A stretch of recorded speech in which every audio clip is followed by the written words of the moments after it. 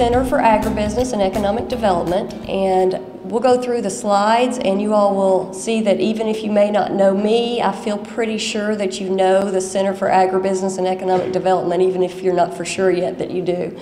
Um, the study was called The Economic Contribution of Cotton Production in Georgia, and my co-authors were Kent Wolfe, who's the director of our center. If Kent, would you mind standing up or at least letting everybody? That's Kent Wolfe. And Don Shurley, I'm not sure if Don is in here, but you guys know Don Shurley, so he was also a co author on the study. The Cotton Commission um, commissioned this study to take a look at um, some of the economic uh, contribution of cotton production in Georgia, not just from the standpoint of the sales, but through the multiplier effects uh, as well. So that gives you an idea of what we were looking at. Let me just tell you a little bit about the center. Uh, we're, we're a center of the College of Agriculture and Environmental Sciences, and we're, we combine the missions of research and extension. So that is how we end up doing a project such as this. We're primarily economists and researchers uh, public service faculty, so we work with the public. We also work with students, other educators. We serve Georgia in that way, mostly by providing data, but a lot of uh, other analysis as well. Let me mention some things that we do as a center that I feel pretty certain you all have heard of. Uh, Georgia Market Maker, which is an interactive website connecting producers and consumers. If you have not seen Georgia Market Maker, you may want to check it. Really, the easiest way is to just Google Georgia Market Maker. It will pull up. It's a collaborative project that we work with other states around the nation. Uh, not all states are connected, but there is a national market maker site that helps to connect producers and consumers throughout the U.S.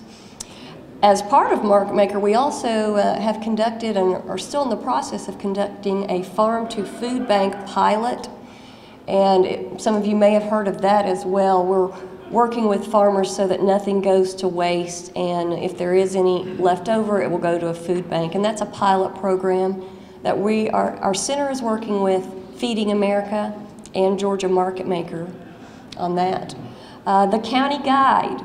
I'm sure all of you are familiar with the County Guide. We, we are uh, instrumental in that too with the Carl Vinson Institute of Government that are our partners in that publication. The Farmgate Value Report, again, something I feel like you all are very familiar with. And the Farmgate Value Report is very important. We are, we are unique as a state in conducting this report, this survey, and it provides value, valuable information for not only the state as a whole, but for every county as well. And the, uh, the study was actually based on figures from the Farmgate report. We'll get into that a little bit more. One other thing really quick that we do, um, the Flavor of Georgia Food Product Contest. We also publish a directory. Some of you may have heard of that. We are currently in uh, registration right now, so if you know someone that has a fabulous Georgia food product, have them uh, submit their product. The Ag Forecast meetings and publications coming up starting this week. And so if you haven't registered yet for an Ag Forecast meeting near you, you may want to check into that. We also do county demographic profiles and presentations for individual counties, uh, presentations about economic importance. We're part, uh, our data feeds into the Georgia statistics system. And then again, like I mentioned, we conduct a lot of customized economic studies, such as this study, uh, the economic importance of MARTA, a lot of feasibility studies. Um, so all across the board, we conduct economic studies. So I'm sure you, got, you guys have heard of at least one of these things, right? Yeah, okay. Well, now you know. That's, that's who we are, and we're here to serve Georgia in that way. Let me tell you a little bit about the background of the study. Is that whistle hurting anyone's ears? I can hear it just a little bit, but you guys okay? All right. Um, the most recent farm gate value, which is 2012, which has just recently come out, uh, cotton production was approximately $1.3 billion for the state of Georgia, and it accounted for about 9.4% of the total farm gate value and 40% of all row and forage crop value for that year. So that gives you an idea of the kind of numbers that we're talking about from the farm gate value report. Um, for the most recent six years, cotton production has ranked either second or third among all the agricultural enterprises in value and first among row and forage crops in Georgia. So that gives you a little bit of context. Now we're going to look at the economic contribution of cotton production, and I'll explain to you a little bit before we talk about the final numbers so that you know what we really looked at. There's different ways to measure, and you, it's important to know what we did look at and what we did not look at. So I'm going to walk you through these next few slides so that you'll know. First of all, I want to make sure that you understand what we mean by economic contribution. It's um, not just the cotton production, as I mentioned before, but it's all the things that are important to bring that cotton production to sale. So it's the inputs, the ag services, and then the people that work in all those industries also purchase things as employees. So it incorporates, incorporates all of those effects. Uh, for example, some of the supporting infrastructure includes things like ginning, warehousing, transportation, input supply firms, machinery and equipment, sales and service, financing. We could, we could name multiple industries that it requires to bring the cotton output.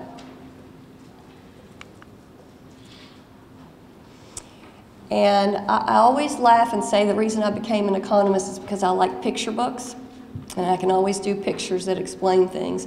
But this, to me, is a great graphic that explains what we do in this type of study about this is how the economy works. This graphic, you can see all the arrows that go back and forth. They have the farmers, they have the construction workers, the money's in the middle, uh, there's teachers, there's medical, uh, medical staff. It shows you that different sectors of the economy work both ways. They buy things and they sell things.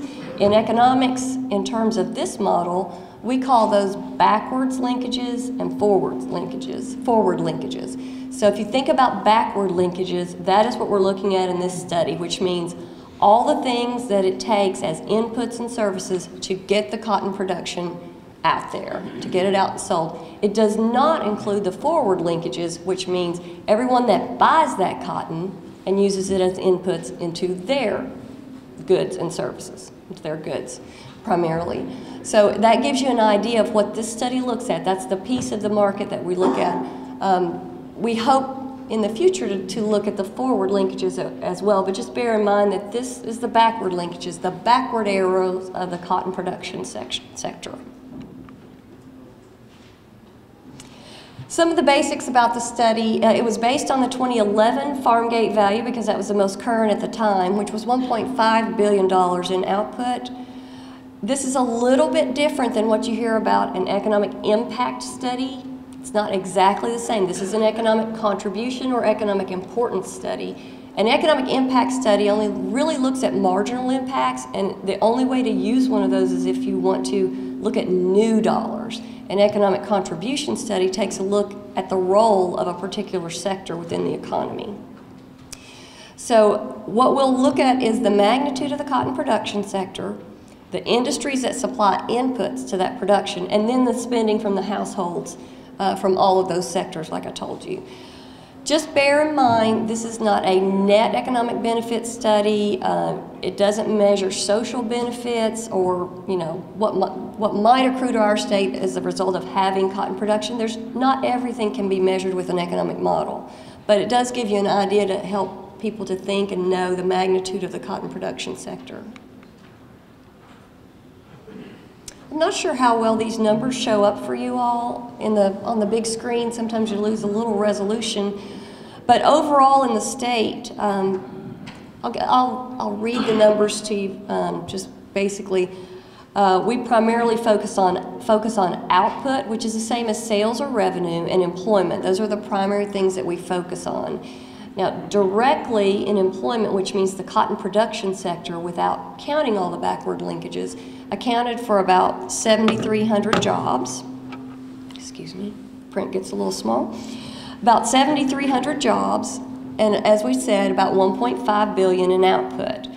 Uh, when you incorporate all of the other effects from the sectors we talked about, all of those backward linkages that we learned about, um, and the, don't forget the spending from the employees that work in both the cotton production sector and the backward linked sectors. The total is, effect is about 15,400 jobs. So that gives you an idea in terms of jobs, uh, cotton production for 2011. Now, the output or sales piece is a $1.5 billion direct output from the cotton sector from, their farm, from the farm gate value, but overall the effect is 2.5 billion. So if you want to think multiplier effects, it's a similar approach. It's, it's a way of thinking about it. It's $2.5 billion in output resulting from the contribution of the cotton production sector. Another interesting aspect about an, a contribution study is to look at which sectors are prim primarily affected. Of course, cotton farming is affected, um, but an, another top affected industry is the support activities for agriculture and forestry. That's the way it's named in our model. Um, that's some of the industries that feed into the cotton production sector, those backward linked industries. And the effect on those industries was over uh, 2,300 jobs. So just the support agricultural industries uh, provided a large number of that impact. Um, some of the other, the top 10 is what I have in this chart. It includes real estate establishments, food service and drinking places, maintenance and repair, non-residential, the monetary authorities or the banks, any kind of credit uh, activities, wholesale trade businesses, transportation by truck, office of physicians, dentists, and health practitioners, and also employment services. So that's the types of industries that are affected by having a production sector in Georgia and from where they buy their inputs to bring that production. Any questions? Sorry, I hate to just read numbers to you, but that's, that's, the, that's the big impact here. Now, I know many of you probably cannot read the fine print on this map. I know I can't. Uh, but the color tells the story. The darker colors, the dark red, is the counties that had the, the largest portion of contribution for the economy from cotton production. When we took a look at the Georgia economy and the impacts, we really wanted to see how it breaks down by county as well because it's interesting to look at it by the state, but it's also important to look at it by county. The numbers with the lightest colors had the lowest economic contribution from cotton production and all the way up ranking in the colors, uh, slightly darker yellow, then green, then blue, and then red. Uh, the percentages of the, the first kind of, I guess, medium yellow kind of color is less than 1%. The green is 1 to 2% of the economy, the local economy. The blue is 3 to 7%, approximately 7, just under. And then the red counties are 7% or greater as a portion of that county's total economy. So that gives you an idea when you look across the counties as to where the impact of county product of cotton production is highest across the state of Georgia.